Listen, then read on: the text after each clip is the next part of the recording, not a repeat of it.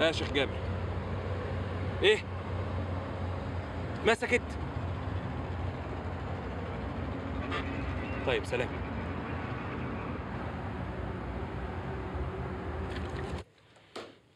طيب ما دام مفيش متفجرات يبقى مفيش عملية.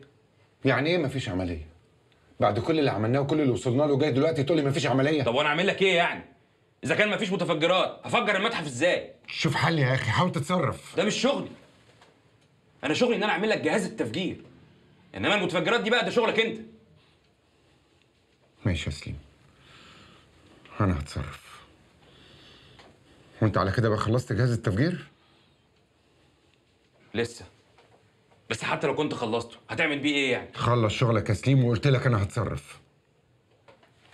ماشي. سليم. عملت إيه في موضوع حمزة؟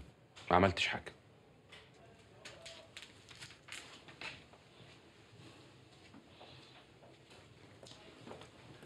شيخ جابر. لسه عارف دلوقتي إن أبو الباشمهندس سليم دخل المستشفى تاني بعد ما طلعوه منها. بس المرة دي بيقولوا انه إنه مش هيطول. سليم وصل له الكلام ده؟ لا لسه. أنا قلت أبلغك الأول يا شيخنا. ما تجيبلوش سيرة يا صالح. سيبه يخلص شغل الأول.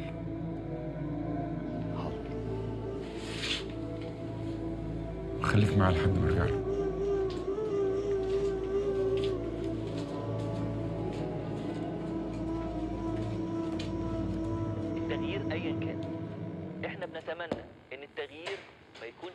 الشرطة وجدد كمان التزام. كنت فين لحد دلوقتي؟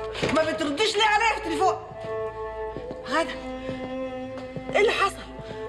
بتعيطي ليه؟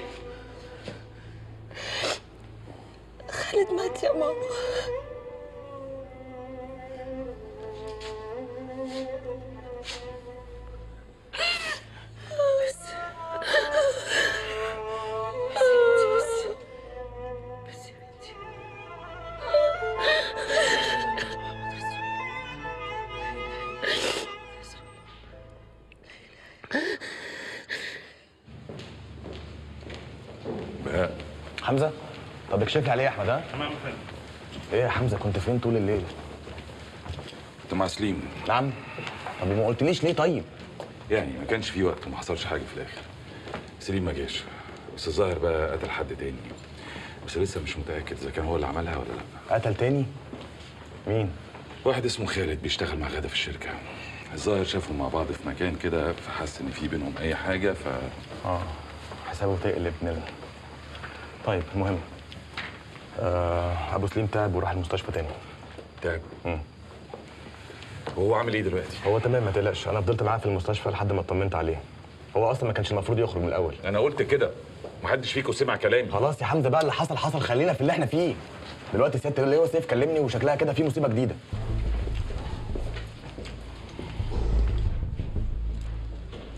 مساء الخير يا فندم. أهلا يا حمزة. مساء الخير يا فندم. اقعد يا حمزة. خير يا فندم. الجيش وقوات حرس الحدود مسكوا امبارح شحنة متفجرات كانت بتتهرب من سينا في طريقها لهنا. وطبعا مش عايز أقول لكم إن اللي كانوا بيقوموا بعمليه التهريب هم رجاله جابر؟ جابر جرايه بقى؟ إحنا عارفين إن هم بيحضروا العملية كبيرة. واللي اتاكدنا منه بقى إن العملية دي غير أي عملية فاتت. ورجالتنا في إدارة المفرقعات أكدوا لنا إن الشحنة دي لو كانت انفجرت كانت هتعمل كارثة في البلد. طيب يا فندم الحمد لله والشحنة اتمسكت. خلاص كده يبقى جابر مش هيعرف يعمل أي حاجة. وإحنا بقى نستلم اللي اتمسكوا. مش هما كانوا هيوصلوها لجابر؟ يبقى نعرف منهم هو فين. مش هنعرف نطلع منهم بحاجة. ساعة الجيش ما وقفهم ضربوا عليه نار. فالجيش رد. ماتوا كلهم ما عدا واحد دخل المستشفى. ما افتكرش إنك هتعرف تكلمه. طب مصدر الأسلحة يا فندم قدرنا نعرف جاية منين بالظبط؟ للأسف لا. لكن رجاله جابر في كل مكان. آه. وزي ما بعتوا الشحنه دي واتمسكت أكيد هيبعتوا شحنة تانية. أكيد طبعا. وجابر ده ما فيش حاجة هتوقفه عن اللي في دماغه. وأكيد لما عرف إن رجالته اتمسكوا هيفكر لنا في حل تاني. مظبوط؟ مظبوط يا فندم.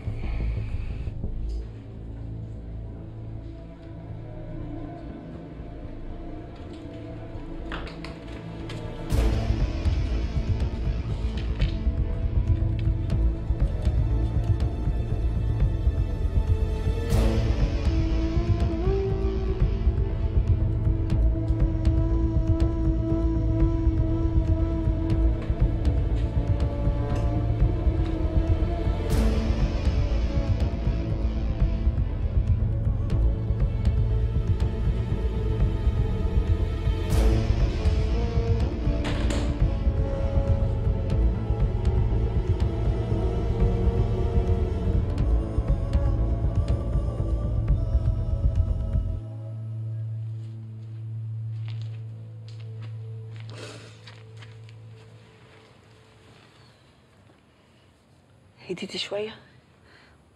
والله يا بنتي ما أنا عارفة أقول لك إيه. شدي حيلك. خالد مات بسببي يا ماما. عارفة يعني إيه بسببي؟ استغفر الله العظيم يا رب. استغفر الله العظيم يا رب. وانت يا بنتي بس ذنبك إيه؟ منه لله اللي كان السبب. حسبي الله ونعم الوكيل. حسبي الله ونعم الوكيل.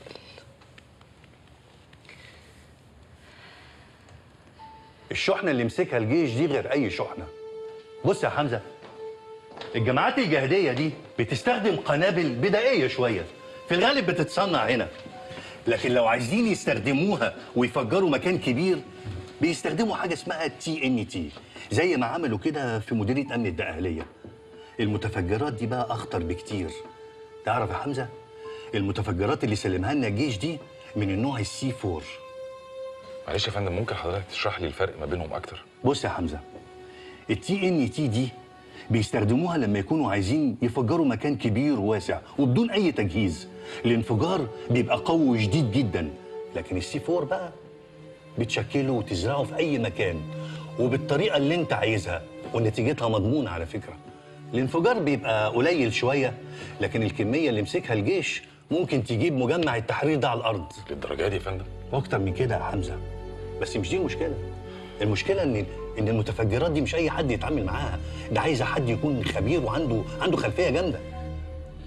طب يعني لو اللي هيستخدمها يا فندم فاهم كويس قوي هو بيعمل إيه. يبقى الحمد لله إنها ما وصلتلوش. لأن الشحنة دي لو كانت دخلت القاهرة ما حدش فينا يقدر يقول لك كان ممكن يتعمل بيها إيه.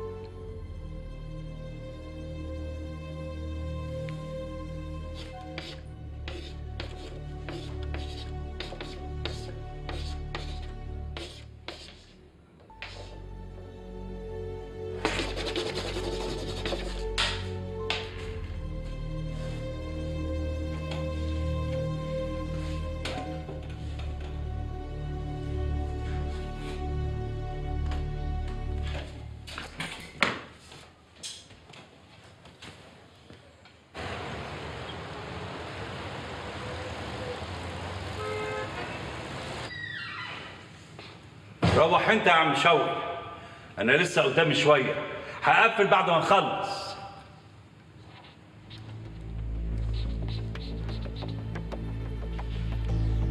ازيك يا دكتور؟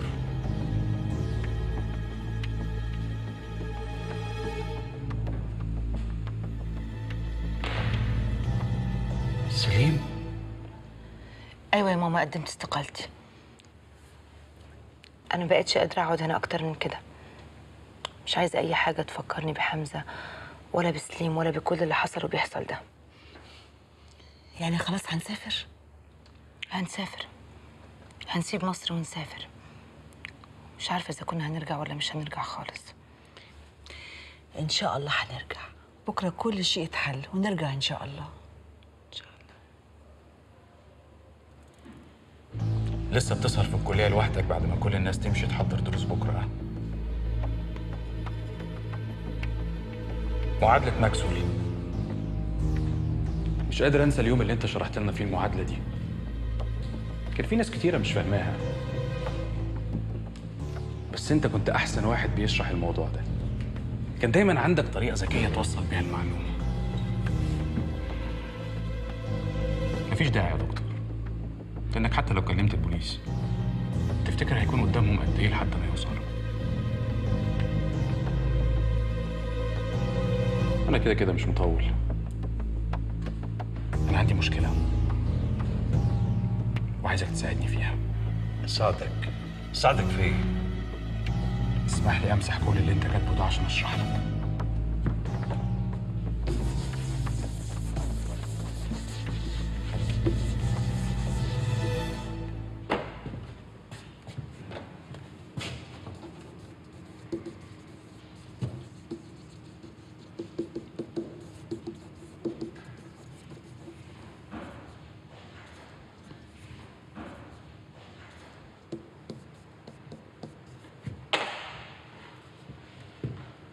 فين الغلطة؟ إيه ده؟ عيب بقى الكلام ده يا أستاذنا. ده أنت اللي معلمنا الحاجات دي. في هنا غلطة. إيه هي؟ ده ده دي معادلة فيها حاجة غلط أو حاجة أنا ناسيها. وعايزك تحلها لي. اللي أنت رسمه ده الدايرة الكهربائية. الدايرة الكهربائية لجهاز تفجير عن بعد. أنا عارف كويس أوي أنا بعمل إيه. بس فين الغلطة اللي أنا عاملها؟ إيه الحاجة اللي أنا ناسيها؟ مش ممكن ابدا أنا مش ممكن أساعدك باللي أنت طالبه. يبقى أنت شكلك ما فهمتنيش. أنا ما طلبتش منك إنك تساعدني. أنت هتساعدني. فخليها بمزاجك أحسن. الحمد لله. الحمد لله.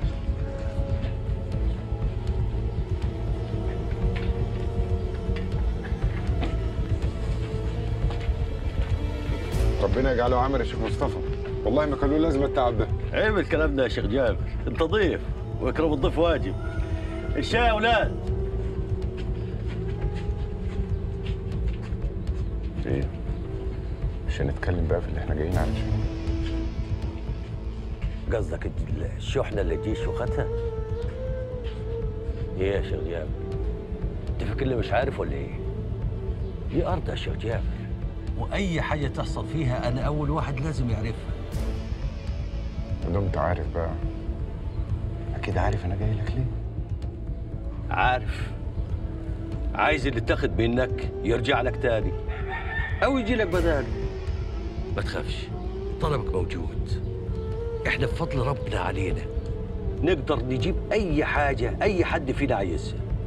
عايز كده بقى يبقى نتفق إمتى؟ وازاي وماله؟ بس في الأول لازم أفهم. أنا ساكت بقالي كتير ومستنيك أنت يا شيخ جابر تيجي تفهمني. وما دمت جيتني لغاية عندي وطالب مساعدتي. لازم أفهم. الشحنة دي جات لك ليه؟ وكنت هتعمل بيها إيه؟ حقك يا شيخ مصطفى. هتفهم. مش عايز جنس مخلوق يعرف اللي هقوله لك. فاهمني؟ أنا برضه يا شيخ جابر اللي اتقال الكلام ده. يبقى ركز معايا بقى واسمع اللي هقول لك عليه. جهاز تفجير عن بعد يا سليم. ليه؟ وهتعمل بيه إيه؟ أنا لا هقول لك ولا هساعدك. سليم مالك؟ أنت كنت أشطر طالب عندي. انت كنت بتقف على السبورة هنا وتشرح لزمايلك و... وإيه؟ ما تكمل وقفت هنا ودرست للطلبة وبعدين؟ شكلك نسيت. أفكرك أنا. طردتوني. طردت أشطر طالب عندك. وأنت كنت واحد من أعضاء مجلس الإدارة اللي وافقوا على طردي. انت عارف كويس ان ده كان غصب عننا والقرار تم اتخاذه وإحنا ما قدرناش. أنتوا حطيتوا راسكم في الرمل زي النعام. اتطرد وإيه المشكلة؟ أنا رجعت وحاولت أرجع الكلية تاني وانتوا رفضتوني تاني. بس مش مهم. المهم انت تمام. وشغلك تمام وحالك تمام. مفيش حد بيقرب لكم. لكن أنا يتداس عليا بالجزم مش مهم. وعلي يا دكتور. فاكر علي؟ ما كان شاطر هو كمان. ما عملش حاجة غلط. علي ده مات. معرفش إذا كنت أنت عارف اللي هو بالنسبة لك واحد من مليون طالب بيعدوا عليك كل يوم. يموت يتحرق بجاز ولا يفرق معاك ولا يهمك. سليم. ما تلومنيش على حاجة أنا ماليش ذنب فيها. آه حصل غلط. آه بس كان ممكن يتصلح. وأنا جاي لك عشان أصلحه. أنا جاي النهارده عشان أديك فرصة تصلح غلطك. بوعدك لو ساعدتني ولا هتشوف وشي تاني ولا عمري هطلب منك حاجة تاني. اتفضل يا شيخ جابر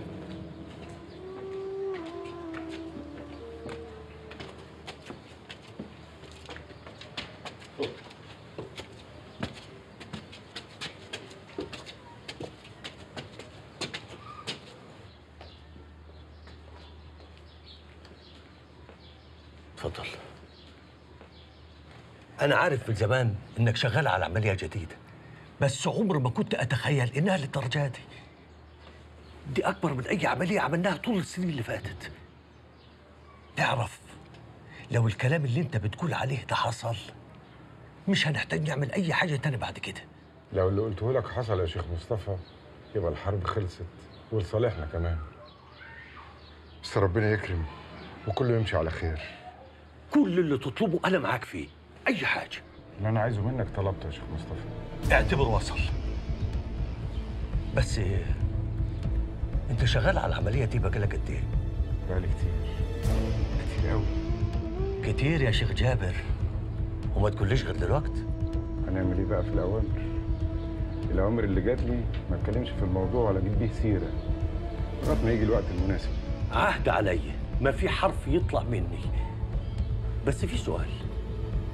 المهندس اللي هيقوم بالعملية دي. سليم. انت ضامنه؟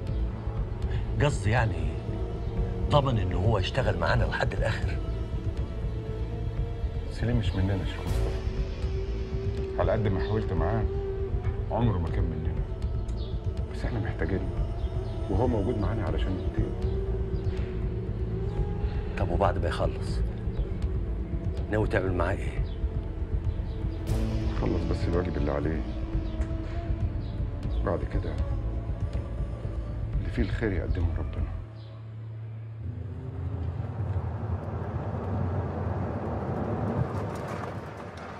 يعني هتسيبني أروح كده؟ لو سمحت يا نوى اتفضلي انزلي علشان أنا مش عايز أتكلم في الموضوع ده علشان أنا على آخري ومش فايق. يعني إيه؟ يا كلامك هو اللي يمشي يا تقفش عليا. طيب اتفضلي يا نوى انزلي لو سمحت.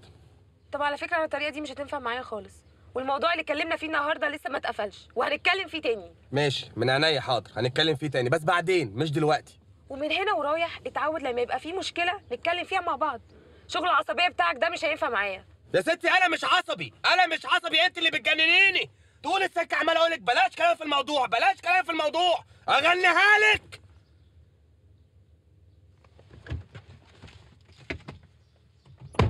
بالراحة على أم الباب. أبو الشغل لا أبو العيشة لا أبو اليوم اللي حبيتك فيه يا شيخة. هنفضل قاعدين كده كتير. والله انت اللي معهدنا. وفي إيدك تمشينا. ابني زمانه على وصول هو متعود إنه يعدي عليا بعد الشغل عشان نروح سوا. ممكن بعد إذنك.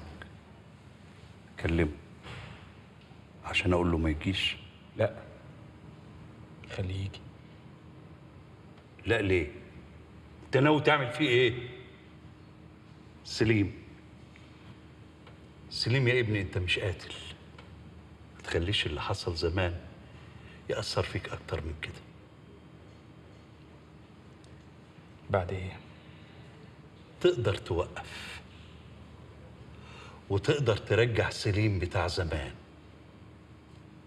لأنك دلوقتي عارف من جواك إن أنا صح.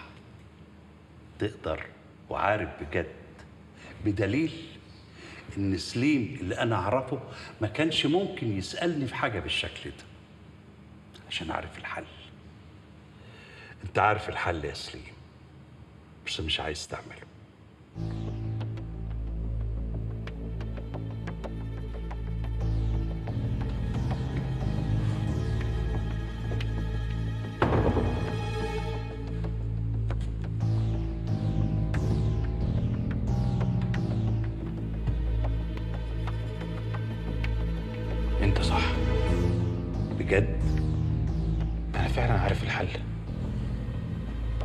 بس ما كنتش قادر اشوفه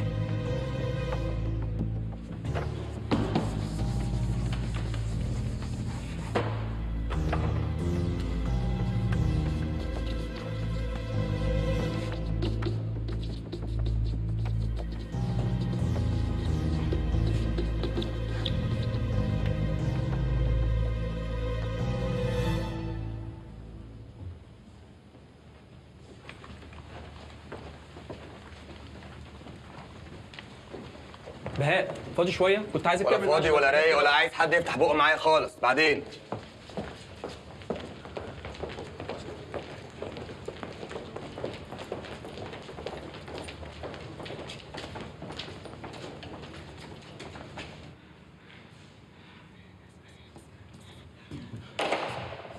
هو ده الحل مش كده؟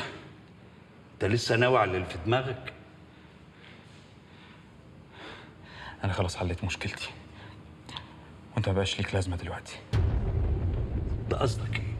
أنت ناوي على إيه؟ لو أنا خرجت دلوقتي وسبتك. مش هتبلغ البوليس؟ أنت عارف كويس إن أنا مش هقدر أسكت. يبقى أنا كمان مش هقدر أسيبك. أنا آسفة يا حمزة إني قلقتك وعطلتك عن شغلك. لا خالص. غدا أنا قايل لك قبل كده لو عوزتي أي حاجة في أي وقت هتلاقيني. أنا مسافرة يا حمزة. مسافرة؟ آه أنا هسيب مصر وأسافر أنا وماما. أنا خلاص ما بقاش في أي حاجة تخليني أقعد هنا. والصراحة أنا مش قادرة أستحمل اللي بيحصل أكتر من كده. هو ده اللي انت طلبتيني علشانه؟ أنا طلبت اقابلك عشان أسألك لو ينفع أسافر أو لأ. خفت أتصرف من نفسي. ألاقيكوا بتوقفوني في المطار لأي سبب. فيا ريت تقول لي يا حمزة. ينفع أسافر؟ ينفع طبعا تسافري أي وقت. مفيش أي حاجة في القانون تمنعك. يبقى أنا خلاص. هجهز حاجتي وشنطي وأحاول أسافر بكرة. غدا. آه يا حمزة.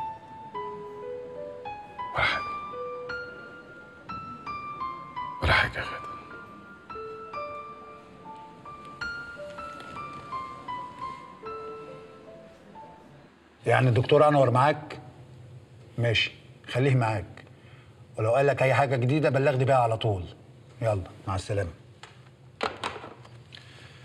سليم كان في كلية الهندسة النهارده. إيه اللي وداه هناك؟ راح يقابل أستاذ من الأساتذة دكتور اسمه الدكتور أنور.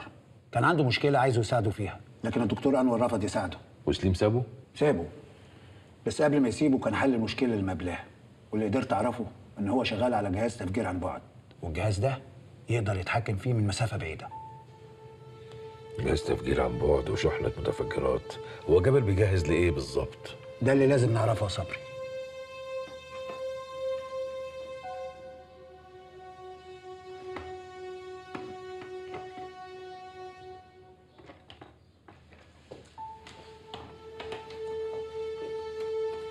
عملت إيه يا سليم؟ خلصت؟ ثانية واحدة أنا بس حبيت أطمنك أنا عرفت أتصرف وفي شحنة تانية هتجيلنا قريب. كويس. وأنت عملت إيه؟ طمني. هعرف دلوقتي.